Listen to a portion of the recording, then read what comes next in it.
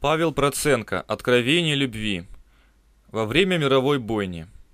Историческая Россия в результате крушения ее государственности в 1917 году выпала из общеевропейского процесса переосмысления неправд, так называемой христианской цивилизации. Опыт наших фронтовиков Первой мировой, часто израненных или психологически покалеченных, оказался на родине никому не нужным. Между тем, один неузарядный русский монах, выходец из крестьян, бывший военный священник, пережил на той мир первой тотальной мировой бойне внутренний переворот. Он переродился как личность. В оставшийся ему отрезок земного пути он в своих делах утверждал правду Христа, сострадающего, открывавшуюся проповеднику во всей ее пламенной бескомпромиссности. Свои прозрения об этом первозданном христианстве, о его трагедии в мире он сумел записать. И в разгар гражданской войны даже издать небольшую часть своих рукописей. Свидетельство это произвело эффект разорвавшейся бомбы. По понятным причинам на родине его книги ожидало забвения, а на Западе их постепенно перевели на основные европейские языки. Теперь, через столетия после их выхода в свет, и наш читатель сможет прикоснуться к пронзительной исповеди бывшего крестьянского сына, ушедшего однажды из дома в поисках истины.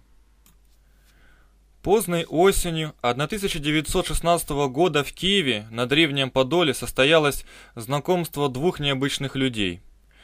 Их встречи, скорее всего, происходили и на Волошинской улице, помещении редакции журнала «Христианская мысль». Там же располагался и книжный магазин, принадлежащий редактору, и в доме на Боричевом току, где жил его издатель. Издатель, редактор, владелец магазина и профессор нравственного богословия в одном лице, экземплярский, принимал у себя архимандрита Спиридона, прибывшего с юго-западного фронта. В самом начале 1915 года архимандрит, согласно собственному прошению, на имя протопресвитера военного и морского духовенства – Шавельского был отправлен на юго-западный фронт военным священником. Идя добровольцем, он хотел понять, как должно относиться христианину к войне и вызываемым ею катаклизмам. В действующей армии он оказался в разгар Карпатской операции, в итоге которой русские войска потеряли около миллиона солдат, убитыми, ранеными и пленными. В мае того же года началось великое отступление русской армии, продолжавшееся почти полгода. В обязанности военного проповедника входило духовное окормление частей, уходящих в бой. Полевой церкви, часто просто на лесной поляне, служилась литургия, в конце которой православные воины причащались, затем произносилось наставление, после чего военные отправлялись на передовую. По приблизительным подсчетам архимандрита, он в общей сложности причастил святыми тайнами около 200 тысяч солдат, затем шедших убивать христиан. Кроме того, он был прикреплен к четырем военным госпиталям в городе Холм, пока его не заняли немцы, к бригаде народного ополчения, к школе прапорщиков и так называемому главному соборному пункту, откуда части направлялись на передовую. По долгу службы у ему же ежедневно приходилось сталкиваться с большим числом людей, вырванных из мирной жизни и находящихся перед лицом смерти. Он выслушивал исповеди, ему постоянно изливали свои боли, страхи и переживания солдаты.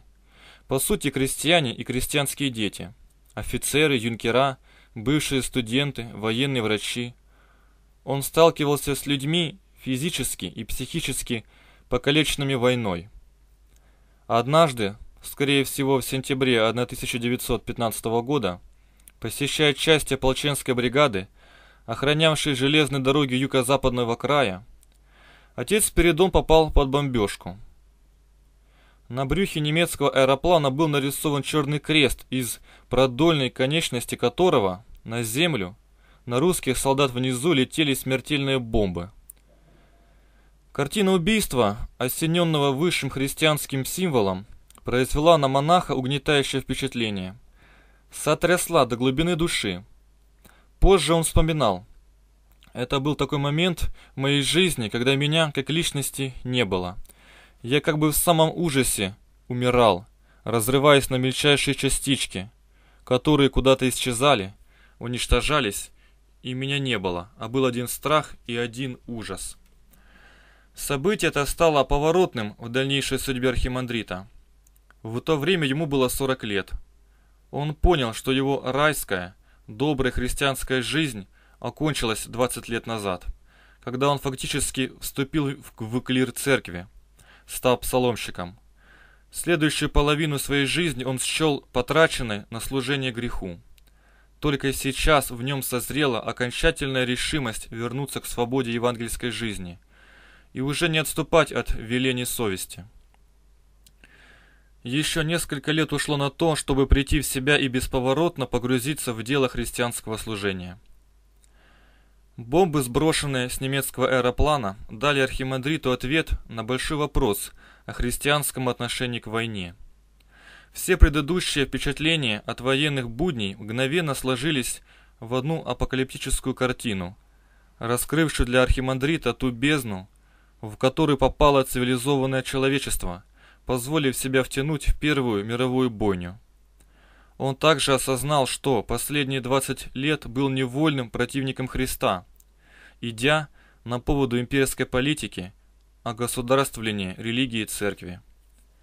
Мировая война как вселенская катастрофа, как глобальный кризис христианства и цивилизации, как ослепление русских и европейцев банальностью зла и соблазном язычества – вот то, что открылось военному священнику в разрывах бомб, а затем в лесном уединении, когда он окидывал внутренним взором свое прошлое и осмыслял причины собственного духовного плена. Он увидел себя в аду, в который пришел добровольно. Этот новый важный опыт невольно делал архимандрита изгоем, поскольку его мысли и чувства входили в противоречие с настроениями подавляющего большинства идейных вождей тогдашнего русского общества. Не только политических и военных начальников, но и партийных активистов различных оттенков, а также деятелей культуры. Картина складывалась парадоксальная. Вокруг себя архимандрит видел океан человеческого горя, отчаяния и потерянности. Бесконечный поток бедствий обрушился на простых людей – находившихся в самом низу социальной лестницы, а также на представителей других, более благополучных классов, оказавшихся на фронте и на деле столкнувшихся со своей беспомощностью перед массовым насилием. В то же время законодатели общественного мнения, в том числе и руководители церкви, взирали на происходящее с воодушевлением. Им виделось, что война оздоровит Россию, и христианскую цивилизацию, и даже преобразит человечество. Архимандрит Спиридон Георгий Степанович Кисляков. Рождение 1875 года. Ронда был из крестьян Рязанской губернии, из семьи вполне православной и бедной.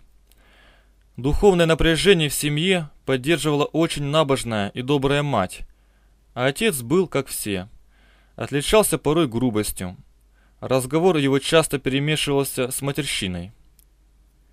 При этом их село Казинка Скопинского уезда в старину относилось к дворцовым владениям. Здесь не было крепостного права в классическом его виде и имелись элементы местного самоуправления. Здешние крестьяне в годы детства и юности Георгия получали духовные наставления не только в местном приходе, во имя великомученицы Параскевы, а и в общении с рядом своих односельчан, ревнителей веры, собиравшихся по домам и читавших Евангелие. Некоторые из них за эту ревность были сочтены церковным начальством неблагонадежными и отправленными в Сибирь. Георгий Кисляков, Егорий, как звали его дома, окончил всего два класса церковно-приходской школы – главным итогом чего стало его пристрастие к чтению. Во многом его религиозную жизнь определяло общение с яркими представителями народного православия, полуюродивыми, а то и просто юродивыми, людьми божьими и странниками.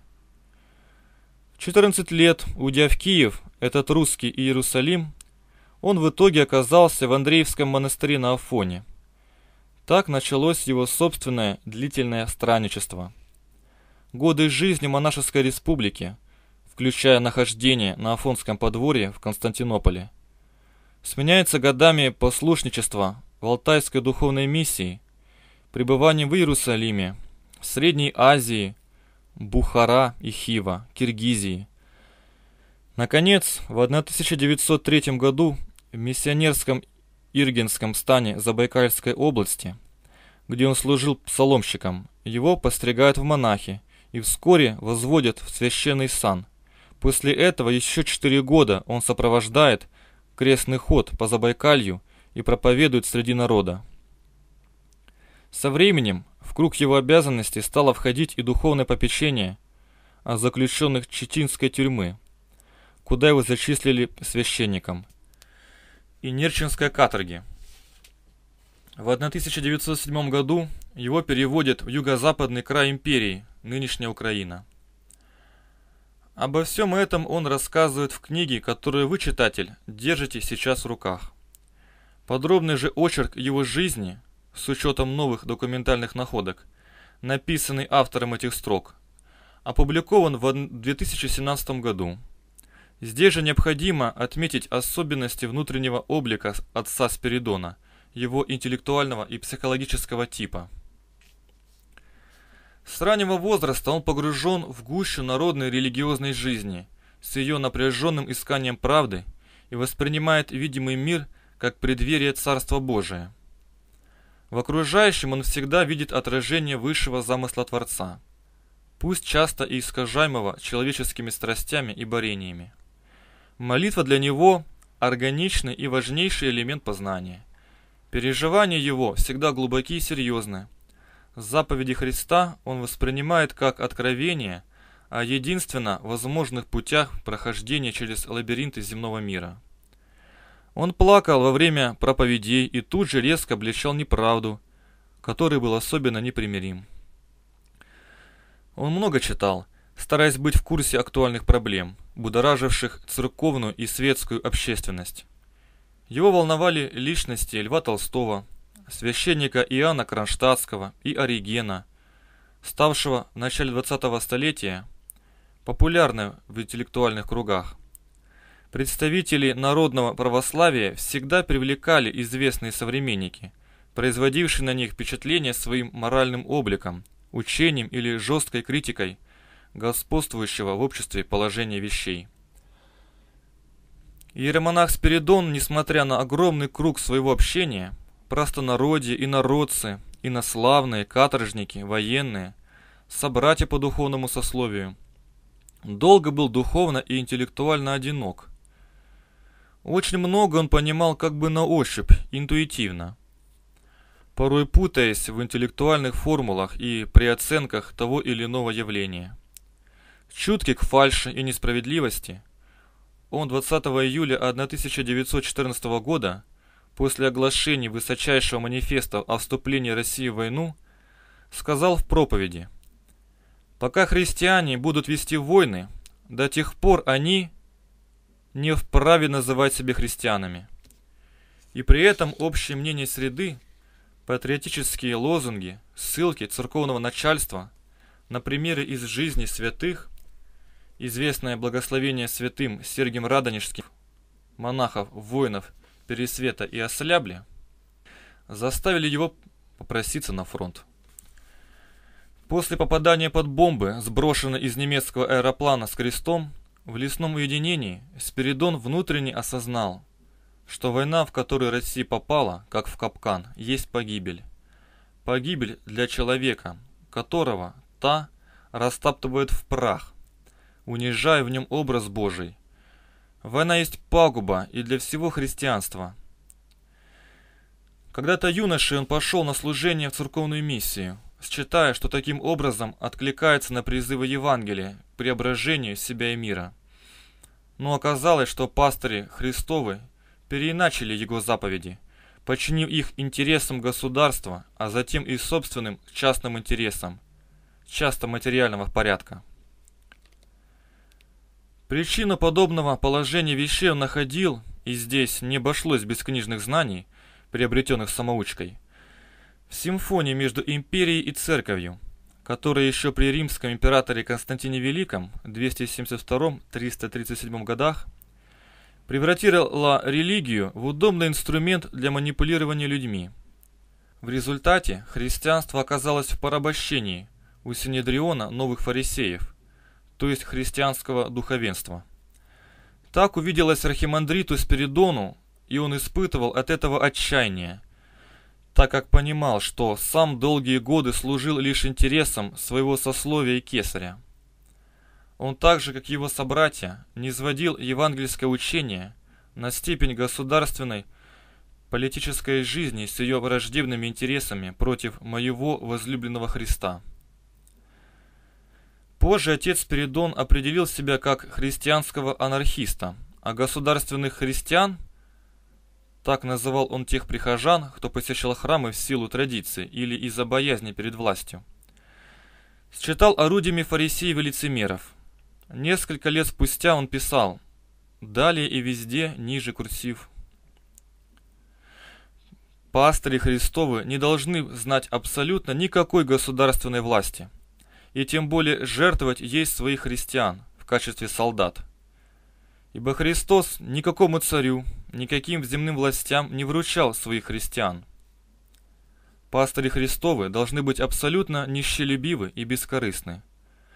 Они – как таковые ни в каком случае не должны продавать свое священническое пасторское служение и из религии Христа делать монетный двор. С такими чувствами архимандрит приступил к написанию собственной исповеди. Будучи человеком действия, он намеревался отослать ее членам Синода, чтобы объяснить им на своем примере, в какой духовной опасности находятся и они, и все другие члены церкви, которые, забыв о любви, заповеданной Христом, угождают лишь законам этого мира и земного государства. О его намерении становится известно церковному начальству, начинаются неприятности. В начале 1916 года в руки любознательного отца Спиридона попадает номер журнала «Христианская мысль», только начавшего выходить в Киеве силами энтузиастов церковных, но при этом независимых писателей, не подчиненных ведомству церковного исповедания. Имя редактора В.И. Экземплярского ему уже было знакомо по его богословским книгам и публицистическим статьям. Он вступает с ним в переписку. Так состоялось знакомство архимандрита и богослова Василия Экземплярского – к Василию Ильичу и обратился отец Спиридон за помощью в своем подавленном состоянии душевного разброда. Архимандрит и профессор были людьми сердечными и открытыми, и вскоре подружились. Именно Василий Ильич помог ему разобраться в себе, в своих настроениях и тяжелых мыслях. Молодежь, с которой в те годы часто общался, в христианском студенческом кружке – этот неординарный академический богослов называла его между собой «дедушкой». Ему было тогда лишь немногим за сорок, но профессор поражал молодых людей не только глубокими знаниями, но и мудростью. В каком-то смысле он, прямой, сухопарый, с тонким лицом и благородной сединой в волосах, с почти невидящими глазами античного мыслителя, производил впечатление хранителя животворного знания – не мертвых сведений из мира древности, но воды живой, которой этот неравнодушный человек мог напоить жаждущих. Почитатели воспринимали его чуть ли не как старца. Он не только отечески обласкал опального пастыря, но убедил не обращаться в Синод, а подождать до созыва поместного собора, давно ожидаемого всеми ревнителями православной веры. Ровесник отца Спиридона Экземплярский родился в последние дни 1874 года. Он был младшим ребенком в семье известного киевского педагога и священника. Когда сыну исполнилось 9 лет, отец овдовел, вскоре принял монашество с именем Иероним и был возведен в сан епископа. умер в 1905 году, находясь на Варшавской кафедре.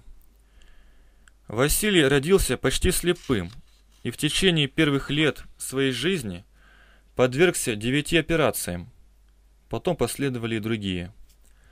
С 21 года он долгое время страдал воспалением сердца и ничего не мог того, что могут в эти годы. С ранних же лет все силы его были направлены на учебу. После духовной семинарии с отличием окончил Киевскую духовную академию. В 1901 году там же становится приват-доцентом кафедры нравственного богословия, а вскоре профессором. Уже накануне Великой Оттепели, увенчавшейся в 1905 году дарованной по воле царя Конституцией, одна за другой начинают выходить богословские и религиозно-философские работы Экземплярского, посвященные выяснению того, как различные стороны реальности соотносятся с евангельским учением. Он постоянно отмечает пункты расхождения текущей церковной доктрины с Нагорной проповедью. Внешне его богословие традиционно, основано на доскональном знании святоотеческого учения, догматов церкви и аскетической практики ее подвижников. Его богословские и религиозно-философские работы пронизаны постоянным поиском пути воплощения христианских истин в жизнь. Не случайно в канун февральской революции Николай Бердяев отмечал в одной из своих программных статей напряженность веры и богословия экземплярского – Московский философ подчеркивал, что в книгах киевского профессора парадоксально сочетается консервативное православие и мощное стремление к церковной свободе и демократизации церкви. Экземплярский считал, что к религиозной свободе должна привести реализация раннего христианского опыта, раскрепощая верующих и тем самым укрепляя их внутренне. Он выступал против смертной казни – ведя полемику с могущественными казенными богословами, оправдывающими ее. Он считал, что исторические условия, когда государство использует церковь, заставили христиан приспособить заповеди своего учителя к требованиям мира, приводя их к отступничеству от принципов веры. Церковь вынуждена благословляет войны, несправедливости, смиряясь с ними как с неизбежным злом. Но древние учителя благочестия считали иначе следуя призывам Христа и разрывая с обычаями языческой римской государственности. Экземплярский считал необходимо не только критику социалистического учения, но и умение видеть в его этической проблематике связь с первоначальным христианством, избавление от гнета внешней несправедливости. Социальный вопрос, как много заключено для нашего времени в одном этом слове, писал Экземплярский. Сколько людей убеждено, что наша эпоха тем и замечательная, что на первый план жизнь выдвинула социальный вопрос. А чего же толпы людей поверили в этот обман? Спрашивал профессор и отвечал. Потому что вокруг себя они не видели примеров христианского поведения. Не видели, как христиане делом решают больные вопросы действительности. А если видели, то слишком неброские, робкие, слабые попытки, слишком ограниченные местом, временем, узкими возможностями делателей. Евангелие способно обновить все внутренние цели человека и ведет его не к справедливому механическому общежитию, а к любящему братству отдельных совершенных личностей христиан. Только в таком единении человек может обрести успокоение сердца. Христианство принесло свободу, и христианская древность в лице великих учителей церкви неопровержимо свидетельствует, что идея братства людей и на земле исповедовалась всей церковью как радостное достояние христианского сознания.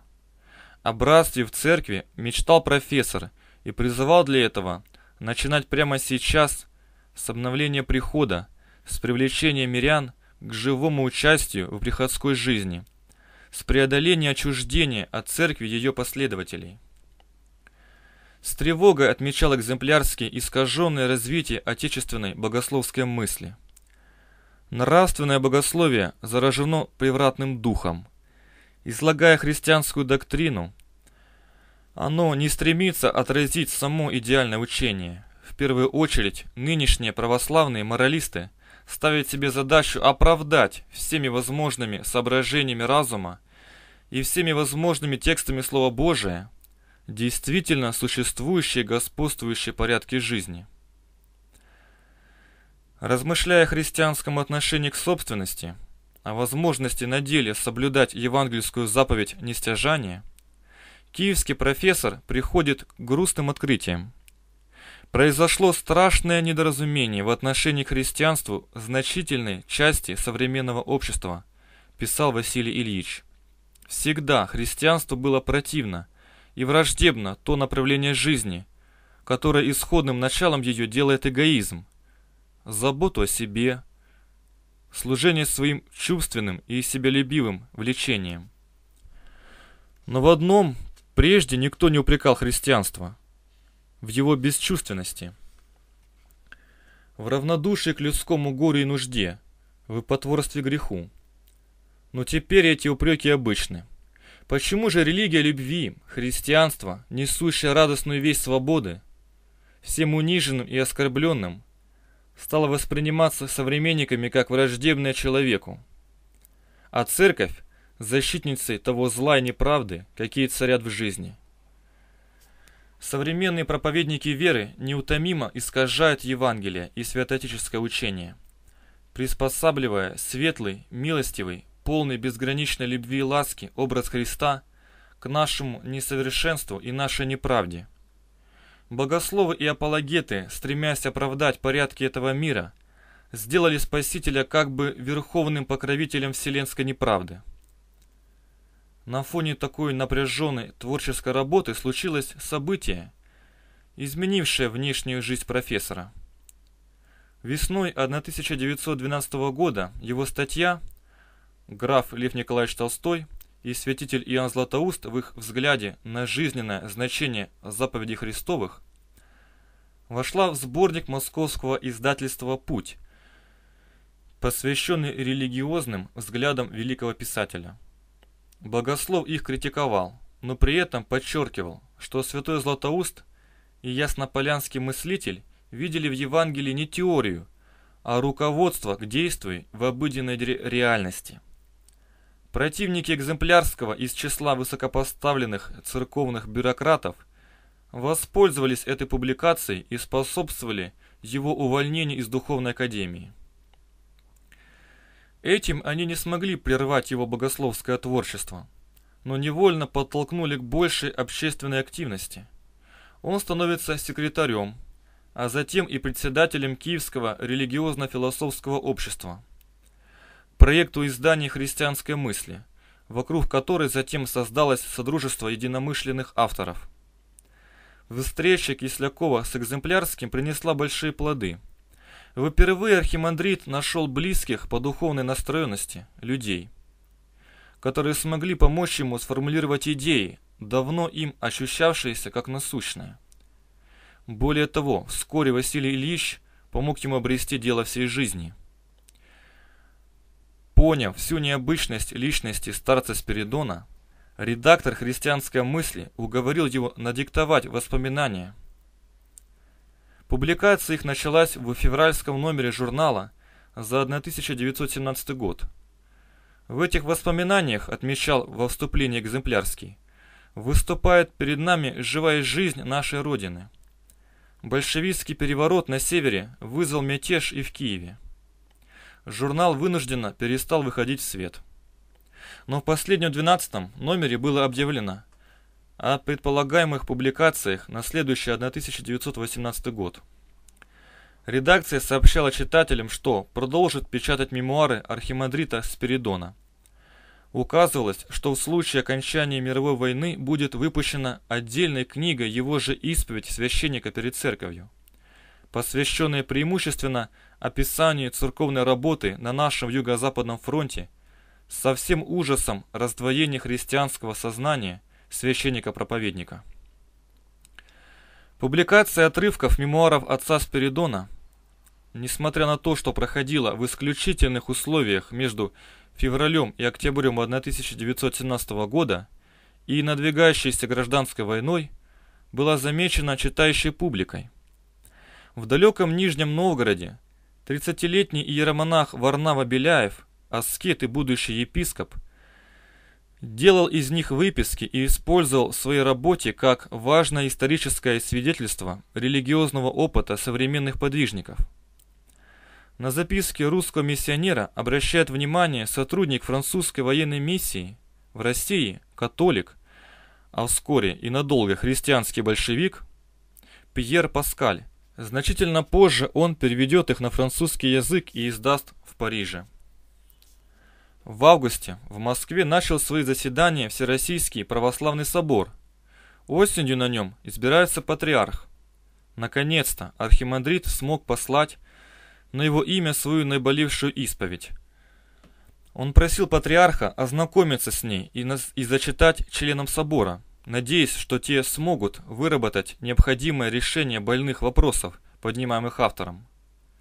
Примечательно, что архимандрит отослал свой текст после того, как этот шаг был одобрен Василием Ильичем. Не исключено, что при всей своей многоопытности и искушенности в вопросах церковной политики профессор все же надеялся на идеальное развитие событий. На какой-то отклик, ведь там затрагивались взрывоопасные для всей церкви проблемы. Однако патриарх Тихон решил не зачитывать обращение военного монаха-проповедника, понимая расстановку сил среди соборян и господствующее среди них настроение. Текст исповеди поначалу просто переслали в Херсонскую епархию, в которой формально числился архимандрит. Позже в письме к экземплярскому патриарх передал свои пожелания архимандриту, благословляя его трудиться и быть полезным в Церкви Христовой. Все эти события заставили отца Спиридона вовсе уйти из военного ведомства. В это же время его новые киевские друзья предложили ему принять участие в их давно вынашиваемом церковно-общественном проекте. Экземплярский и его единомышленники решили организовать общину нового типа, в которой новозаветные принципы будут осуществляться без компромиссов и в соответствии с духом апостольской эпохи – и святоотеческих принципов. 8 октября 1917 года организационно оформилось Братство Иисуса Сладчайшего.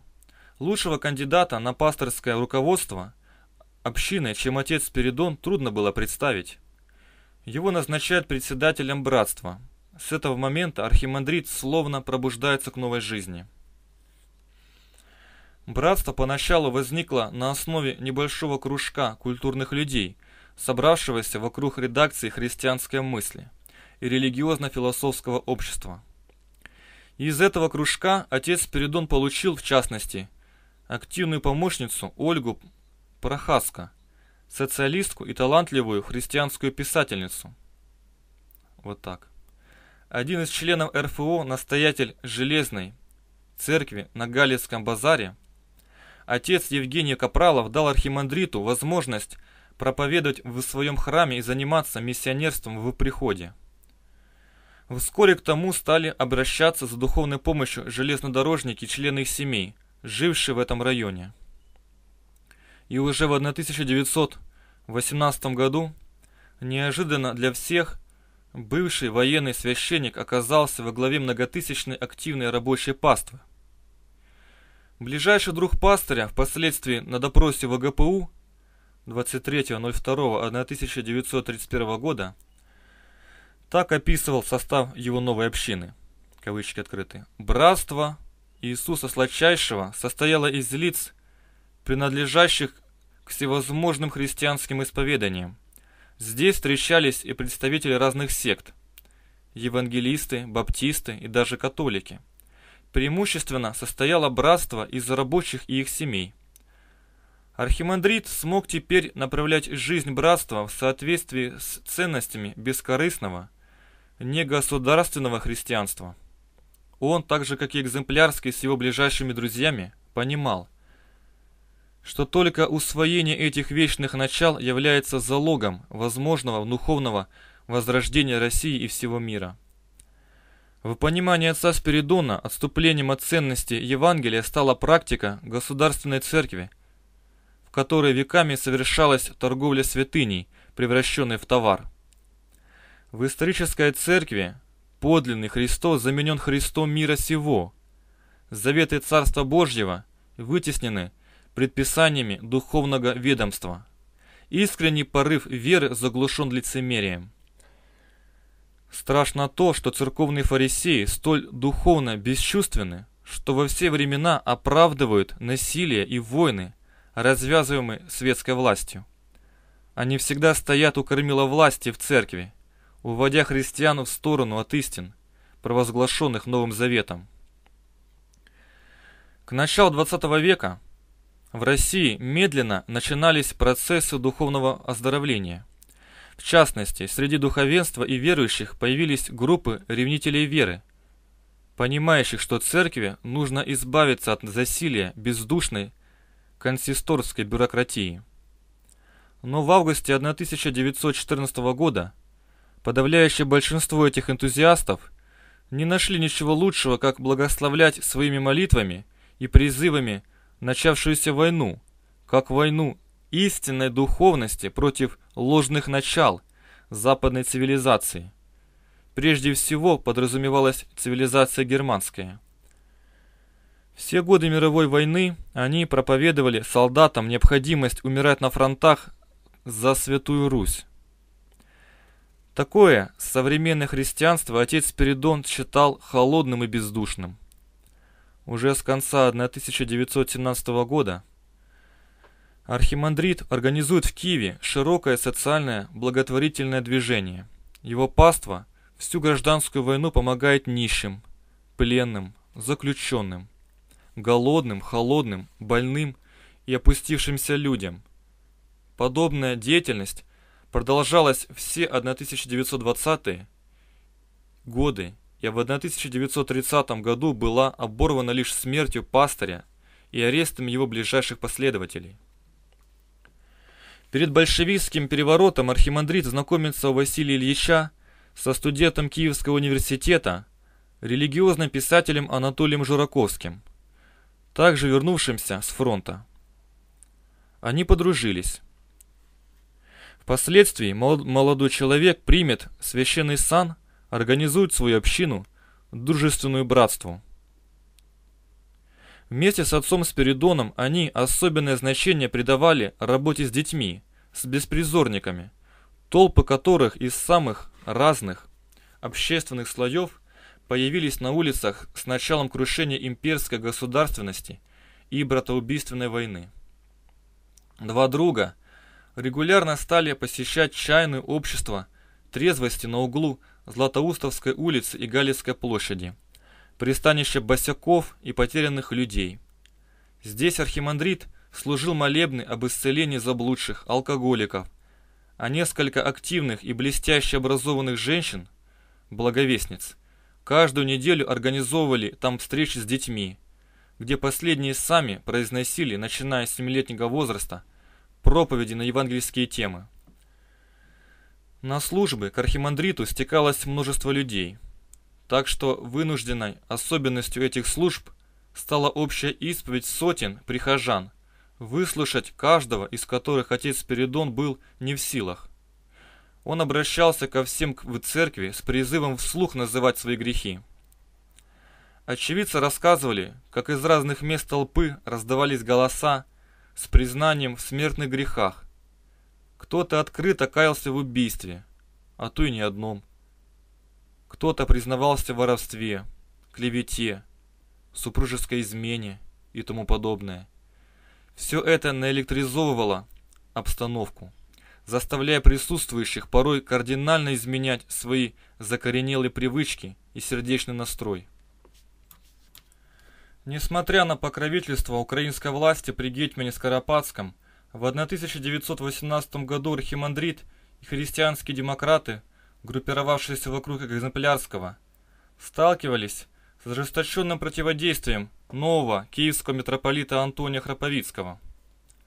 На Московском соборе он чуть было не стал патриархом, набрав большинство голосов, Лишь жребий, вытянутый старцем Алексеем Засимовским, указал на Тихона. Оказавшись на Киевской кафедре, владыка стал управлять украинской церковью по старинке, когда во главу угла ставили отказ от любых перемен и утверждали верность сложившейся практике. Для него стиль служения архимандрита, его открытость к людям являлись признаками, если не смутьянства, то хлыстовства. Он наложил на монаха епитемью и возбудил против того внутрицерковный судебный процесс. Вскоре митрополита арестовали петлюровцы и увезли в Галицию. Почти через год он вновь вернулся с частями белых, потом отбыл на юг России – все это время при белых и красных в велотекущем режиме продолжалось церковное следствие над отцом Спиридоном. Закончилось лишь в 1923 году вынесением ему формального порицания святейшим Тихоном при одновременном неформальном поощрении. Патриарх передал харизматичному монаху свой фотопортрет с краткой надписью «Архимандриту Спиридону на память». Отбиваясь от натиска начальства, Архимандрит в 1918 пишет окончательную редакцию «Исповеди священника перед церковью» и в следующем году издает ее отдельной книгой. Она выходит при втором воцарении в Киеве большевиков, скорее всего летом. Весна и лето 1919 года были страшным временем показательных массовых расстрелов представителей чуждых классов. На отца Спиридона, священника рабочих, пока не трогали. Он продолжал служить в своем стиле, не прекращая широкой социальной и просветительской работы.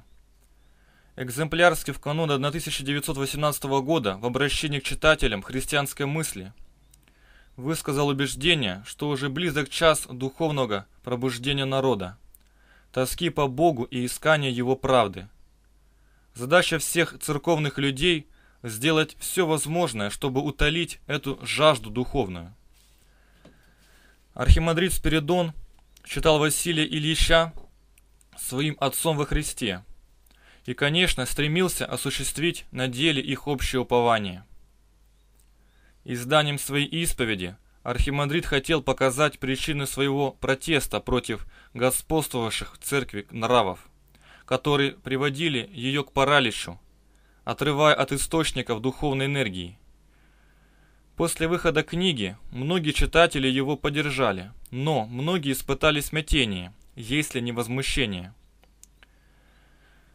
В 1920 он издал еще одну свою книгу «Царь христианский», в которой в форме притчи описывал губительность для христиан стремление руководствоваться в своих поступках государственными задачами, патриотизмом или еще какой-либо идеологией, отодвигая на задний план заповеди Нового Завета. Священник и экстраординарный профессор Киевской духовной академии Алексей Чекановский, в близком будущем обновленческий архиерей, перешедший на службу в просоветскую церковь. Во внутренней рецензии на исповедь архимандрита подчеркивал, что эта книга в основном представляет собой автобиографию автора, пересыпанную критикой церковно-практической и общественно-государственной жизни христиан. Таких книг читал рецензент. Очень много появилось за последнее время.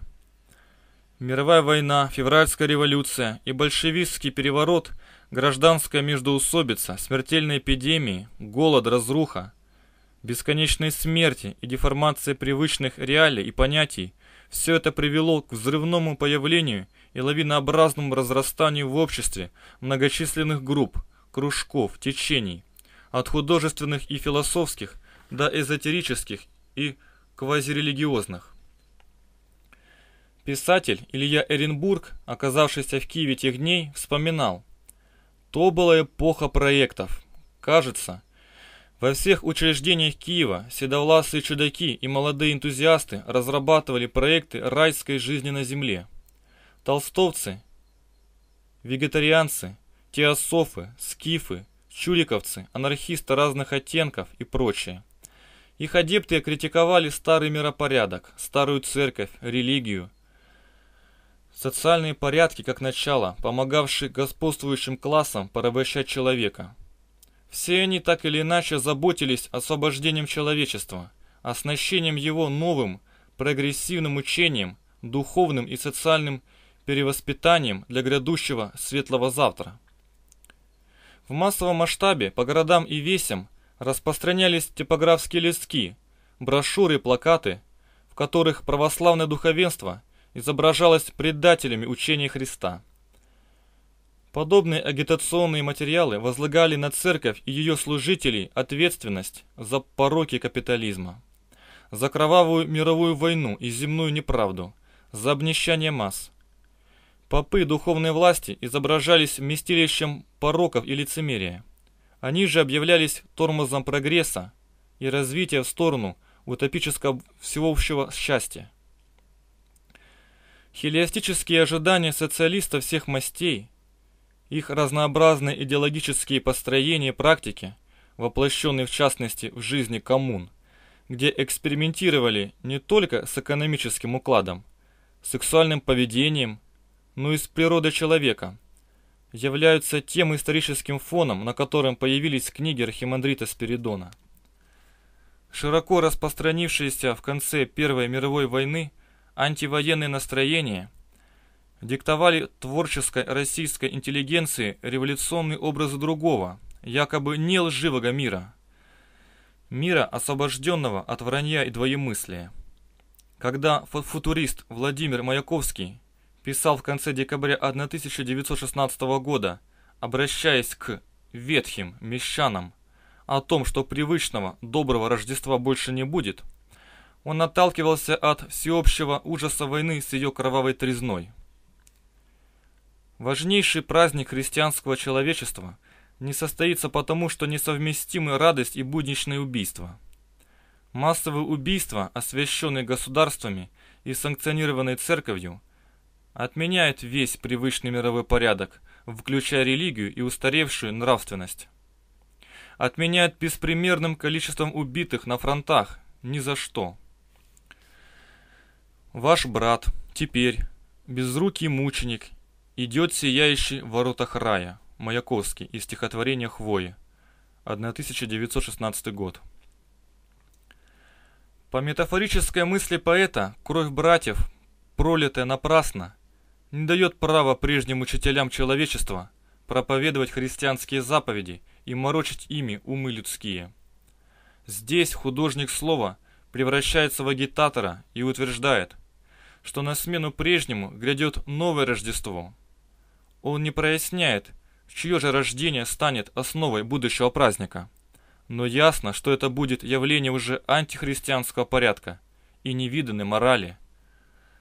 Странствующий монах с обостренной чуткой душой архимандрит Спиридон лишь отчасти мыслил и действовал в русле этого общего потока морального, психологического и социального протеста, вызванного войной и революциями. Ведь он издавна, с ранних лет был непримирим ко всякому проявлению духовного фарисейства, омертвляющему истоки личной веры. От современных мечтателей и утопистов его отличала глубокая убежденность в том, что перемена внутреннего устроения человека зависит не от схоластических конструкций идеологий, а от духовного непрекращающегося стремления к свободе, к свободе утверждения человечности и добра. Разница между его частным индивидуальным протестом и общим восстанием творцов культуры против обветшавшей церковной, буржуазной морали принципиальна.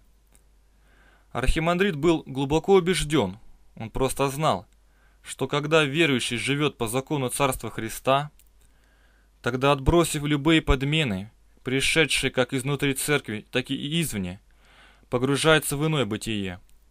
Он сердечно разделял убеждения своих киевских друзей-богословов о необходимости удаления из церковного организма всякого бюрократизма во имя торжества соборной евангельской демократии. Дух свободы всегда приведет верных Христу в Его Царство, где все пронизано братством и милосердием. Профессор Василий Экземплярский постоянно напоминал ближним о пророчестве Иоанна Богослова, о неизбежном конце времен и последнем страшном гонении на верных. Василий Ильич считал, что это новое и величайшее гонение настанет в тот момент, когда церковь перестанет угождать властителям земли и вступит в борьбу со злом. Этот момент внезапно для всех настал в 1917 году. Братство Иисуса Сладчайшего, ведомое отцом Спиридоном, утверждало в Киеве времен апокалиптических, не скованное внешним догматизмом, чистое братолюбивое христианство. Его община действовала среди киевского пролетариата, очень быстро попавшего в тиски тирании, еще худше, чем при прежнем режиме и сплотившегося вокруг своего пастыря с полным пониманием того, какой жизни насущно стремится, жизни, основанной на Нагорной проповеди, а не на учении революционеров. Среди культурных слоев киевского общества действовала другая, дружественное братство Иисуса Сладчайшего, община священника Анатолия Жураковского. Всем им помогал пока был в силах Василий Экземплярский и кружок его соратников. Это был духовный, как сказали бы сейчас, проект по осуществлению в нашей истории незамутненного, самоотверженного православия. Свобода по вере участников этого эксперимента, соединенная с постоянным, неустанным откликом на призывы Христа, только одна способна преобразить Родину. Конечно, путь духовной свободы оказался предельно тернистым. В июле 1927 года тогдашнее временное руководство Российской Православной Церкви признало в напечатанном в правительственных известиях своеобразном манифесте декларации советскую власть как установленную свыше и призвало всех своих последователей стать лояльными гражданами СССР, поддерживая власть во всех ее начинаниях. Таким образом, Страдавшие за веру узники были признаны церковным начальством уголовными преступниками. Архимандрит Спиридон отказался признать этот призыв христианским по существу и со своей общины ушел к тем православным епископам, которые не сочли возможным играть в политические игры с новой властью. Движение это стало называться Иосифлянским по имени митрополита Ленинградского Иосифа, Петровых 1872-1937 годов. Отец Спиридон продолжал совершать то, что делал все годы, начиная с образования братства. Проповедь, исповедь, широкая благотворительность, поддержка слабых и больных. Но даже среди киевских иосифлян нашлась и в это время группа духовенства, которая вдруг припомнила монаху его, сектантскую исповедь его богослужение с необычным чтением вслух тайных молитв. По-видимому, эта пробудившаяся вражда была тайно спровоцирована кураторами религиозных дел из АГПУ. Лжебратья стала писать доносы епископам уже катакомбной, а особо преследуемой церкви. В результате на архимандрита вновь наложили епитемию в виде запрета служить привычным для него образом – он собрался ехать в ссылку к митрополиту Иосифу и оспорить несправедливое решение, но не успел. Последние годы архимандрит тяжело болел сердечной недостаточностью. Волнения, вызванные новой тяжбой церковной бюрократии, ускорили развязку. 11 сентября 1930 года он скончался – Перед смертью ему было видение о скором разгроме его христианского дела, аресте и последующих длительных мучениях в заключении его друга, священника Анатолия Жураковского, арестованного через месяц после кончины отца Спиридона на Покров 1930 года и расстрелянного в 1937 года. На похороны архимандрита собрались тысячи людей – Гроб несли нищие, было много детей, а похоронная процессия растянулась на несколько километров. В проповеди, сказанной после погребения на Соломенском кладбище, отец Анатолий в немногих словах очертил существо дела, которому посвятил себя умерший. Кавычки открыты. Наличная церковная действительность не удовлетворяла его. Он хотел найти путь, который состоял в том, чтобы собрать верных в единое тело и научить деятельной любви друг другу и всем скорбящим, обремененным и нуждающимся. Он возродил древний церковный идеал, как не ужасны были условия, при которых проходило его служение. Он показал и верующим, и неверующим образ церкви, как чего-то такого, что, что создано силой, которая сеет любовь, мир, свет и блаженство. Кавычки закрыты.